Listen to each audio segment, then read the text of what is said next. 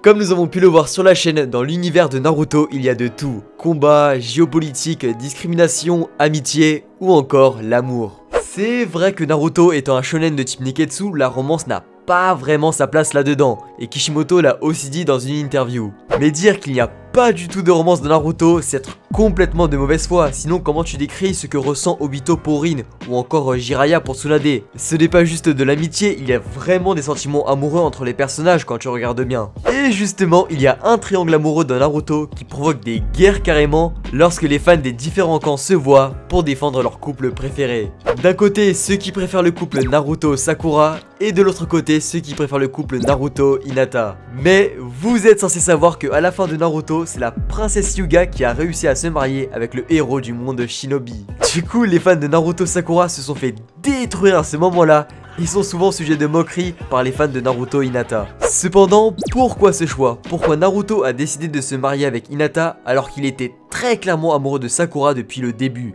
Eh bien, c'est ce à quoi nous allons répondre dans cette vidéo. D'ailleurs, avant de commencer, n'oubliez surtout pas de vous abonner à la chaîne parce que j'ai vu dans mes paramètres YouTube que vous êtes près de 85% à ne pas être abonné et c'est tellement dommage parce que c'est le meilleur moyen pour me soutenir et d'être informé des futures vidéos. Alors us, c'est Shiro, j'espère que vous allez bien parce qu'aujourd'hui pour fêter la Saint-Valentin, nous allons voir pourquoi Naruto ne s'est pas marié avec Sakura.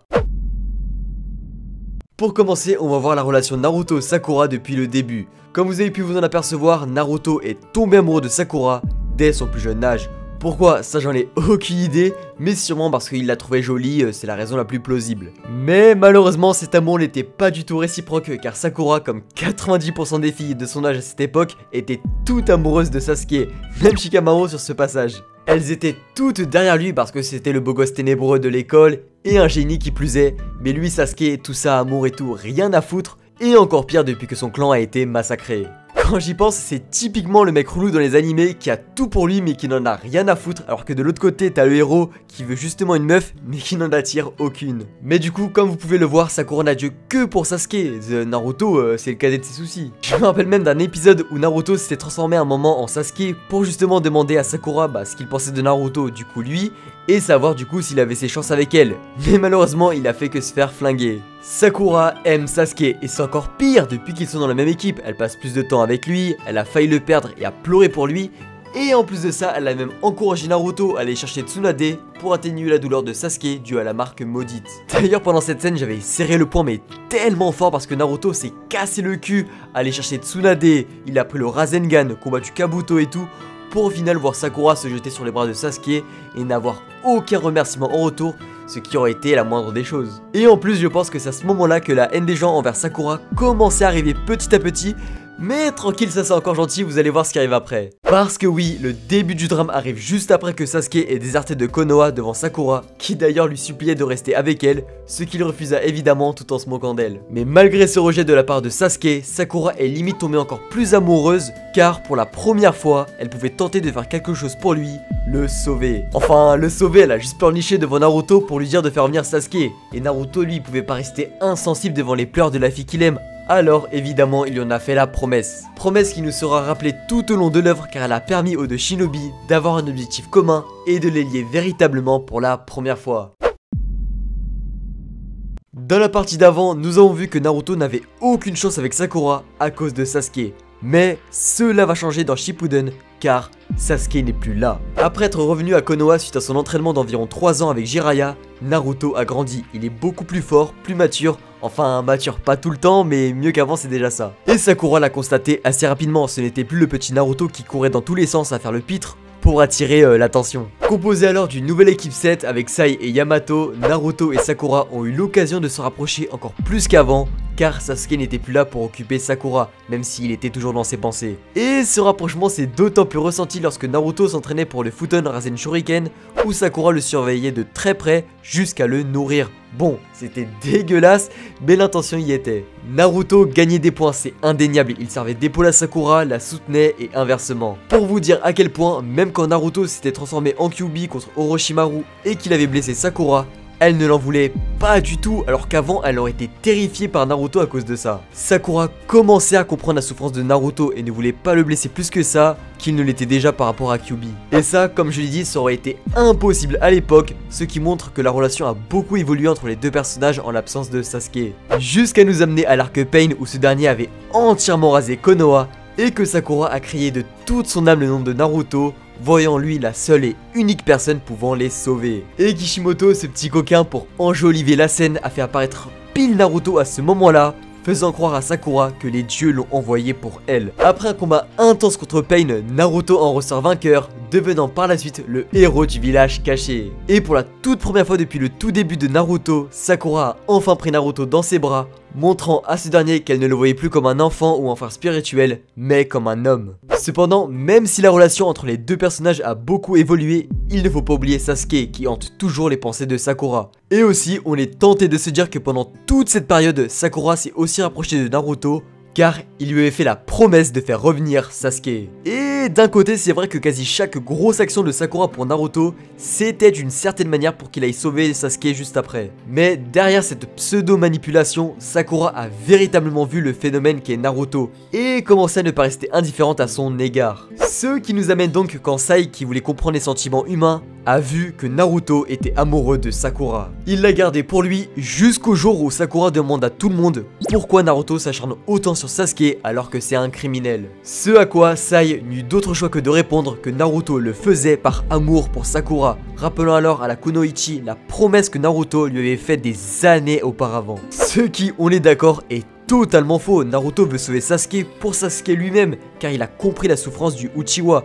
Il ne le faisait surtout pas pour Sakura, tant bien même qu'il l'aime. Cependant, sur le coup, Sakura est prise au dépourvu. Pour elle, Naruto se met en danger uniquement à cause d'elle et part immédiatement à sa recherche. Et c'est dans l'épisode 212 de Naruto Shippuden que Sakura déclare sa flamme à Naruto Personne ne s'y attendait, même moi j'étais choqué. Mais Naruto n'est pas dupe, devant les aveux de la Kunoichi, il sait que tout est faux, car la Sakura qu'il a toujours connue n'a Dieu que pour Sasuke. Alors pour lui, pourquoi un changement si soudain? Sakura lui répond en disant qu'il est incroyable, qu'il a toujours été avec elle contrairement à Sasuke, blablabla. Bla bla, et évidemment d'oublier la promesse qu'il s'était fait auparavant. Et là, Naruto comprit, il a vu que Sakura faisait ça pour le protéger, cependant il l'a mal pris et a décidé de recaler les avances de la fille qu'il aime car elle ne pensait pas du tout ce qu'elle disait. Mais est-ce réellement le cas? Est-ce que Sakura ne disait pas aussi de la vérité? Il est clair qu'elle aime plus Sasuke que Naruto, c'est indéniable. Mais est-ce qu'on peut dire qu'elle est aussi un tout petit peu amoureuse de Naruto en vrai? Parce que sinon, euh, pourquoi les lui dire? Elle n'avait qu'à directement aller voir Sasuke au lieu de passer par Naruto avant. Quand tu dis je t'aime à quelqu'un, c'est pas pour rien. Du coup, pour moi, c'est sûr à 100%, si Naruto avait accepté les avances de Sakura à ce moment-là, ils auraient fini ensemble. Mais Naruto n'est pas du tout ce genre de personne. C'est un homme sage, il préfère le bonheur des autres avant le sien. Regardez tout ce qu'il fait pour aider Sasuke, il n'y a pas meilleur exemple. Alors il ne veut surtout pas que Sakura soit avec lui alors qu'en réalité elle aime plus Sasuke. Et ça, il nous l'a rappelé dans l'épisode 235 où il avoue à une Kunoichi qu'il aime Sakura et qu'il serait le plus heureux des hommes s'il finissait avec elle. Cependant, il veut que ça vienne d'elle-même et surtout du plus profond de son cœur ce qui n'était pas le cas de Sakura sous la neige. Et je trouve qu'on parle pas assez de cet aspect de personnalité chez Naruto, c'est incroyable le recul qu'il a, parce que j'en suis sûr que beaucoup de gens seraient tombés dans le panneau à sa place. Mais malgré ça, cette scène, sur le coup, je l'ai détestée à mort, comme sûrement la majorité d'entre vous, parce que en vrai, j'aurais bien aimé un couple Naruto-Sakura à la fin de l'œuvre,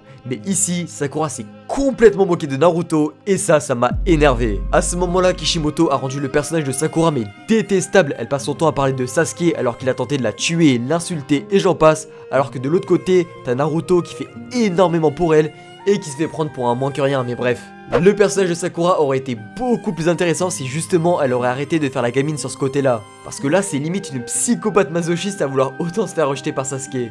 Du coup, Naruto ne pouvait malheureusement rien y faire contre une fille prise dans un genjutsu amoureux. Effectivement, si vous avez retenu tout ce que j'ai dit jusqu'ici, Naruto n'a de cesse aidé Sakura pendant qu'elle commettait des erreurs. Mais de ce côté, elle n'a rien fait d'extraordinaire pour Naruto.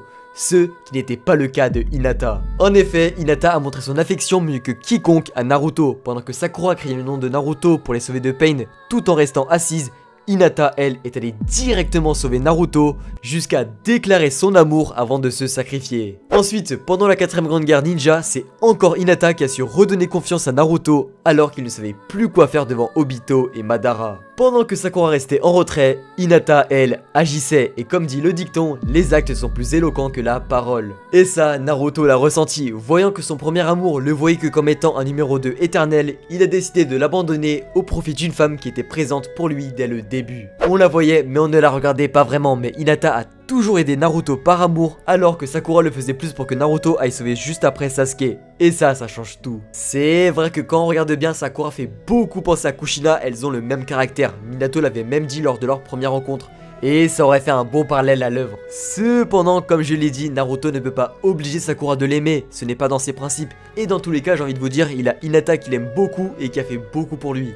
D'ailleurs, c'est un super beau message, je trouve. On peut aimer quelqu'un à fond, mais si elle ne nous aime pas en retour, ce n'est pas une fatalité. Il y a toujours une petite euh, Hinata qui vous aime, j'ai envie de vous dire. Vous la connaissez sûrement, mais vous ne la regardez pas assez attentivement pour vous en apercevoir. Alors ne perdez pas espoir. Oh là là, les gars, je suis un philosophe. Mais bref, du coup, avec tout ça, je pense que vous avez les réponses à vos questions de pourquoi Naruto ne s'est pas marié avec Sakura. Alors faites comme Naruto, aimez les personnes qui vous aiment vraiment et ne perdez pas votre temps avec des gens qui préfèrent une autre personne que vous, car elles ne vous méritent pas du tout.